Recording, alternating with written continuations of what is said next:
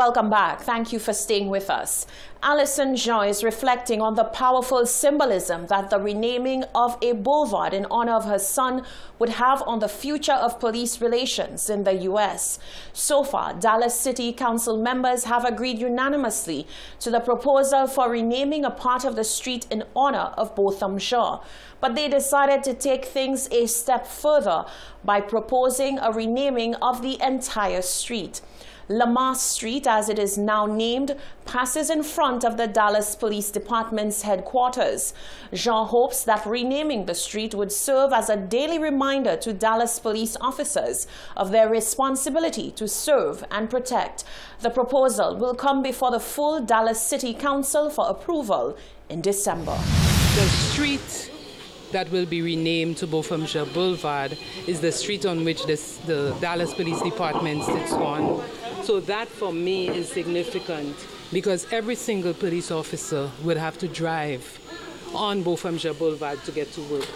Every check that they receive, their mail is going to be addressed to the Botham Jean Boulevard.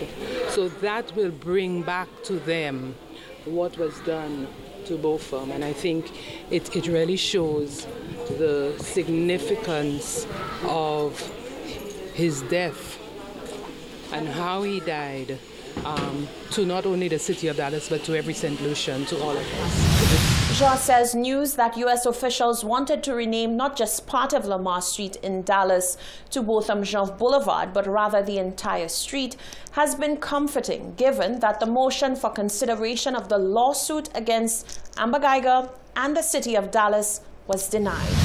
The wrongful death lawsuit, unfortunately, I got news yesterday that um, the motion which was filed for reconsideration was denied by a judge. So my attorneys are now going into appeal. So the process is much longer than we thought. But that is the lawsuit against Amber Guyger and the city. Um, the lawsuit against the apartment complex is still is going. Um, we have not received a response yet, but there is a period of 60 days within which the defendants, in this case Southside Flats, would have to file their response. Alison Jean stands squarely behind the Black Lives Matter movement and the need for police reform to ensure that police shootings and police brutality do not continue to snuff out black lives.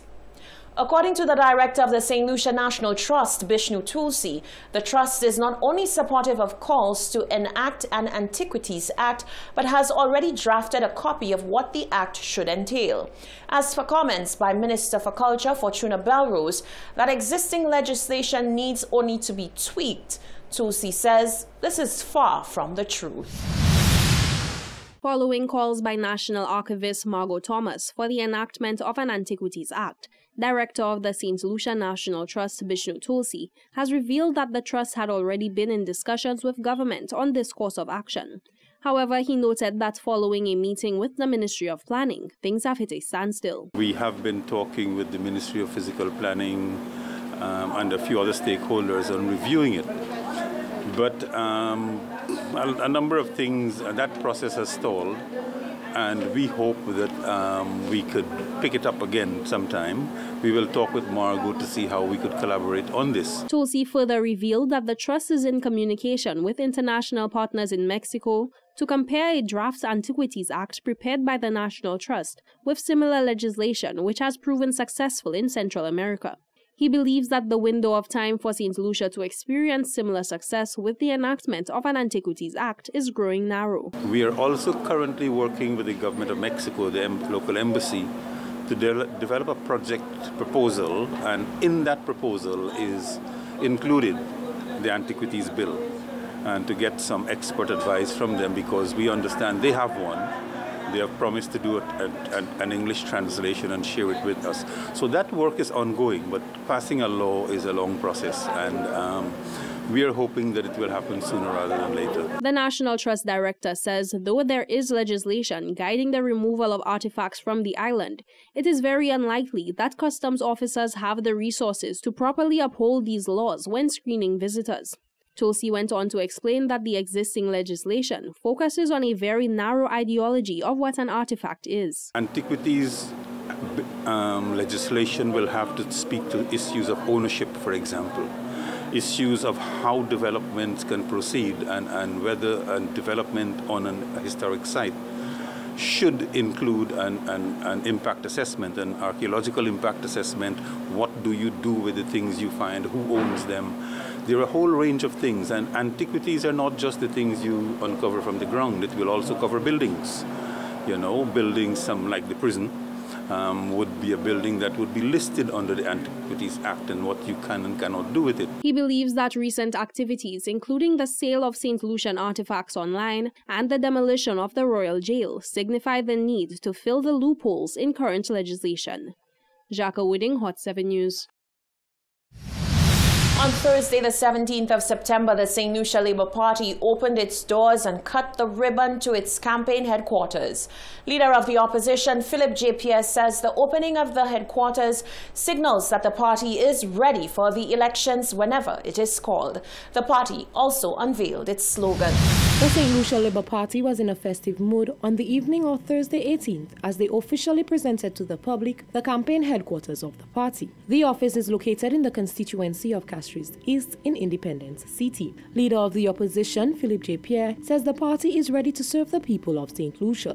This evening, we are not only opening our campaign headquarters, but also presenting the theme of our campaign.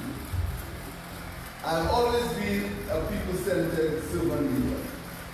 Whether it has been in my own business, as a parliamentary representative for Castries East, or as a cabinet minister. It is for this reason that I'm proud of my record of service to my country and ready to continue serving my people at another level. I'm morally obligated to be a servant of the people because that is the reason why any politician or any political party comes to public life, to be of service to the people of the country. For this very reason, our campaign will adopt no other future. Our message is concise.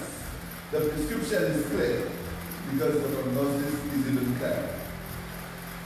United Workers Party government has failed to understand its electoral mandate which is that the first responsibility is to the people. He says the party has core fundamental values that will be of great use to the country, given the state that the current administration has the island in. At the official opening of the headquarters, the slogan for the 2020-2021 general elections was also revealed, putting you first. Newly appointed Senator Lisa Jawahir gave a brief overview of what the slogan means to the people of St. Lucia. The St. Lucia Labour Party will put the people first. A St. Lucia Labour